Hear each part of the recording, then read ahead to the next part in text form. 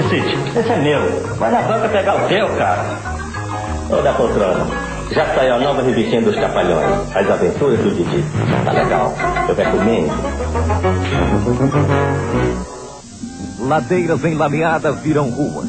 A chuva deixa de ser um risco. As encostas são seguras. Os esgotos canalizados. O projeto Favela Bairro está melhorando a vida de 300 mil pessoas. E com Conte na prefeitura, vai chegar a 600 mil. Ela vai crescendo num lugar melhor, mais decente, sem lama, sem sujeira, com esgoto, água, luz, área de lazer, creche. Vai ter outra vida, né?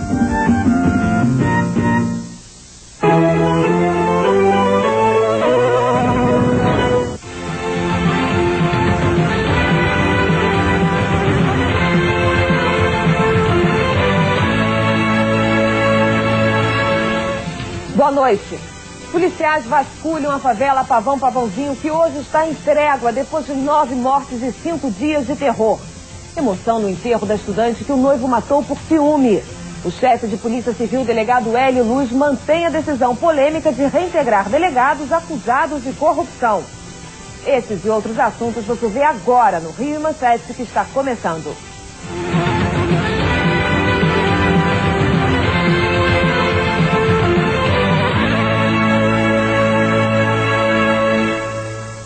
Depois de cinco dias de guerra entre os traficantes dos morros Pavão Pavãozinho e Cantagalo, na Zona Sul, os moradores tiveram hoje um dia mais calmo.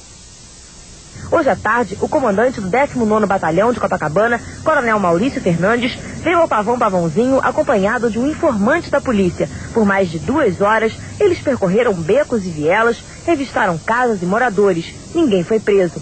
A ocupação vai continuar por tempo indeterminado, porque, segundo a polícia, a guerra entre os traficantes ainda não terminou e os tiroteios podem recomeçar a qualquer momento. Além disso, os traficantes estão muito bem armados. A maior parte das 19 armas apreendidas até agora são de grosso calibre, como fuzis e metralhadoras. A guerra entre traficantes deixou um saldo de nove mortos nos últimos cinco dias espalhou terror entre os moradores. Durante todo o fim de semana, a cena foi a mesma. Moradores deixando suas casas com medo. Sem ter para onde ir, para algumas pessoas, o jeito foi passar a noite na rua.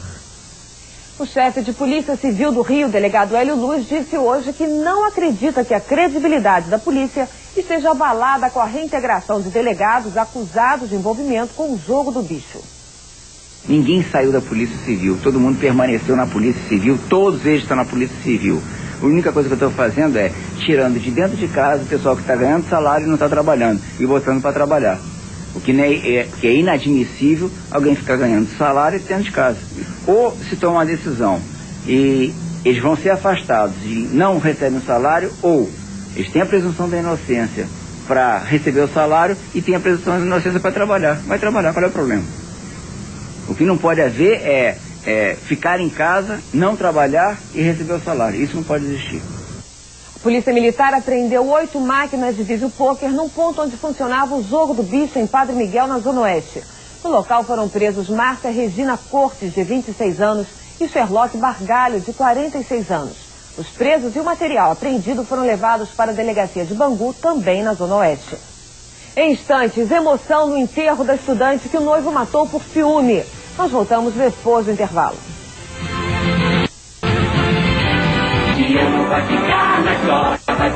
Muita gente me olha como se eu fosse de outro planeta quando eu digo que os postos de saúde da prefeitura têm que ficar abertos 24 horas por dia. Eu falo porque sei que isso é possível. Um posto de saúde com seis médicos, mais 30 profissionais de apoio durante todo o dia, e três médicos, mais seis profissionais de apoio durante toda a noite, custa por mês cada posto 39 mil reais. Se nós multiplicarmos pelos 69 postos da prefeitura, teremos um valor mensal de 2 milhões 691 mil reais gastos com os postos de saúde.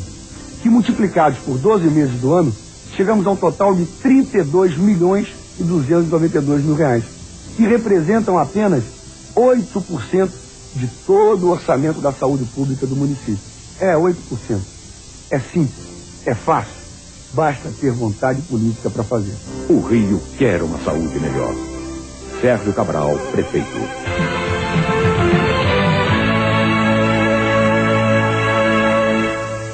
Foi enterrada hoje no Rio a estudante assassinada pelo noivo, um fuzileiro naval. Centenas de amigos e parentes compareceram e estão revoltados com o crime. Daniele Cássia de Souza, de 19 anos, foi assassinada com três tiros na noite de sábado no Recreio dos Bandeirantes, zona oeste do Rio. O autor dos disparos foi o noivo da estudante, o fuzileiro naval Anderson dos Santos Pereira, de 20 anos. A intenção dele era que tudo parecesse um assalto. Os dois se conheceram há quatro anos. Daniele queria romper o relacionamento. O ciúme de Anderson acabou provocando o assassinato. Ele foi preso depois que a polícia localizou o carro utilizado na noite do crime. O Monza, com a placa adulterada, estava com um amigo do fuzileiro, Vanderlei Linhares, que iria se livrar da arma do crime. Vanderlei confessou o plano do militar, elaborado no próprio sábado. Ele deu uma coronhada na cabeça do fuzileiro para reforçar a ideia do assalto. Daniele foi enterrada hoje no cemitério de Irajá, subúrbio do Rio. Parentes e amigos estavam inconformados com a tragédia. Uma amiga da estudante, que preferiu não se identificar, lembrou que Daniele sempre foi delicada com todos. Ela era uma garota assim que todo mundo, acho que a pessoa que eu não gostasse dela assim, não tem coração, entendeu? A prefeitura inaugurou hoje o primeiro centro de atendimento a adolescentes viciados em droga. O trabalho de recuperação será feito através de terapia, sem uso de remédios. A casa tem capacidade para atender até 30 adolescentes entre 12 e 18 anos. O projeto Bem TV é destinado principalmente aos menores de rua. Eles estão sendo selecionados pela Secretaria Municipal de Desenvolvimento Social. O trabalho vai contar com serviços médicos, atividades recreativas e cursos profissionalizantes. De acordo com estudos, esse apoio aumenta o índice de recuperação em 80% o uso da droga é um projeto de morte, né? É, de morte, de, de marginalização. Então se pretende fazer todo um trabalho psicológico, educacional, para que esse menino desista do caminho das drogas e invista no caminho de um projeto de vida de felicidade. Qual a importância da participação da família nesse trabalho que vocês vão desenvolver aqui? Essencial. Sem a família fica mais difícil. Quando não existe uma família, nós temos que criar uma. E nós trabalhamos aqui como se fosse uma família. Então esta será realmente uma família na falta de outras de origem. O núcleo vai funcionar na sede do Centro Municipal de Atendimento Social Integral em Vila Isabel, zona norte da cidade. Mais uma comunidade carente ganha ruas pavimentadas, creche e até casas novas para os moradores. É o resultado do projeto Favela Bairro, que vem sendo implantado pela Prefeitura. A comunidade de Três Pontes, em Santa Cruz, na zona oeste do Rio, é o segundo local a ser beneficiado com a conclusão das obras do projeto Favela Bairro. 5 milhões e meio de reais foram investidos em obras, como a pavimentação de 8 quilômetros de ruas e um quilômetro de drenagem de águas pluviais e rede de esgoto. E para as famílias mais carentes, que vivem em áreas de risco ou que tiveram que ser transferidas com as obras, a prefeitura entregou prontas 14 casas. Nos 45 metros quadrados de construção, varanda, sala, dois quartos, banheiro e cozinha. Gente como a dona de casa Maria Angélica Ferreira, que tem dois filhos, recebeu das mãos do secretário de Habitação, Sérgio Magalhães, as chaves da nova moradia. Estou esperando por esse momento há muito tempo. Eu estou super contente, estou felicíssima. Agora te digo uma coisa, hein? Isso é realidade. Tem muitos aí que são fantasia. Mas essa aqui eu tenho certeza que é realidade. Porque eu também não acreditava muito, não. E para que as mães possam trabalhar mais tranquilas, ainda foi inaugurada uma creche. Com o nome de Daniela Pérez, escolhido pela comunidade, a creche tem capacidade para atender a 121 crianças, um espaço amplo de 1.800 metros quadrados de área construída, inclui sete salas e até berçário. O programa Favela Bairro é um programa que a prefeitura contratou com o Banco Interamericano de Desenvolvimento. São 300 milhões de dólares na primeira fase e mais 315 já acertados com o BID. É um programa da cidade de transformação de todas as suas favelas. São dois terços da população favelada que são abrangidas pelo programa Favela Bairro. A seguir, a Polícia Federal prende três PMs com armas contrabandeadas do Paraguai.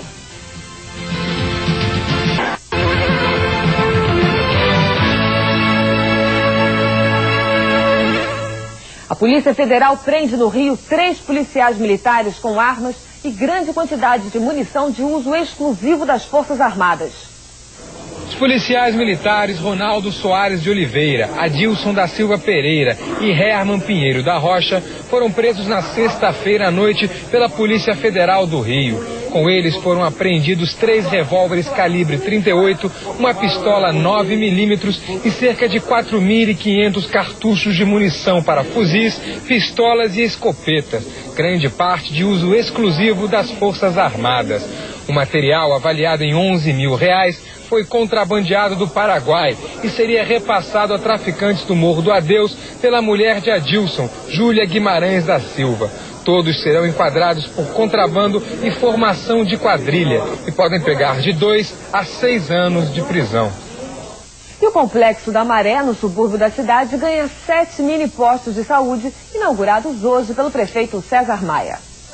Atendimento na hora marcada, consulta com médicos escolhidos pelos próprios moradores, sem filas e transtorno. Foi pensando assim que a prefeitura inaugurou no Complexo da Maré sete postos de saúde. O posto central fica na comunidade Nova Holanda e mais seis postos funcionam em CIEPs na área da Maré. Com atendimento médico indo dos sete da manhã até as cinco e meia da tarde de segunda a sexta, só nos casos de doenças graves é que os pacientes vão ser transferidos para hospitais. Esse Centro Municipal de Saúde vai poder atender melhor por quê?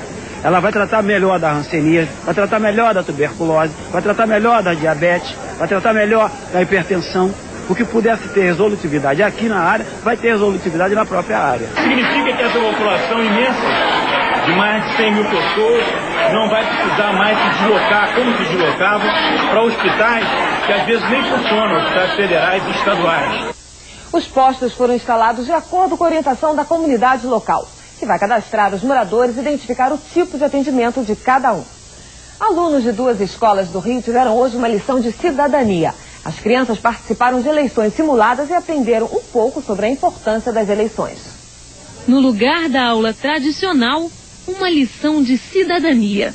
150 crianças de primeira a oitava série dessa escola em Vila Isabel, zona norte da cidade, participaram pela primeira vez do voto eletrônico escolhendo entre os 13 candidatos à Prefeitura do Rio. Essa é a etapa final de um processo iniciado há um mês. Na primeira fase foram distribuídos os títulos para cada um dos pequenos eleitores. Depois veio a divulgação do programa de governo de cada candidato. Nas aulas de democracia, eles aprenderam novas expressões como boca de urna e, principalmente, a responsabilidade do voto discussões que só pertenciam ao mundo dos Eu acho importante, porque eu vou estar preparada para quando eu for votar, né? Por exemplo, quando eu for mesária, né? Eu já sei como é que é. Aí foi importante. No centro da cidade, a votação simulada contou com uma urna eletrônica idêntica à que vai ser usada no próximo dia 3 de outubro. A máquina foi cedida pelo Tribunal Regional Eleitoral. Os estudantes puderam escolher entre nove candidatos fictícios. O Rio Manchete fica por aqui. A gente se vê amanhã. Para você, uma boa noite.